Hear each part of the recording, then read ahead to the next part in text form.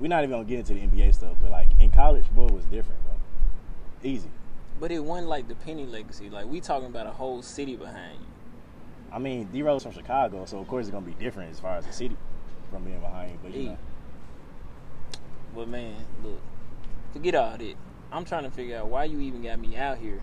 If it's no rims on the, it's no rims out here. you talk about being like Penny all the time. I'm who? I'm gonna be like Penny. I already Okay, know it. You can't guard me though. Bro. There's nothing. Guarding to you be like is Penny, easy, but you can't guard nobody. That's crazy. bro. Let's work. So you saying Penny ain't got no defense? Penny- First, I'm gonna start with like just something simple. I'm already here. Simple. See, I'm you- already you here. already fouled. I don't bro. need You already my fouled. hands. Yeah, you I gon- don't need You none gonna of need your that. hands because I I'm gonna don't go need right none here. of that. Look, It's I'm easy. here. Bam, Look, bam. whatever Step move back. you make. You know, then Look, I just tell I'm everybody to still move out the way. here. I I'm tell everybody to still move out the way. I I'm push it that way.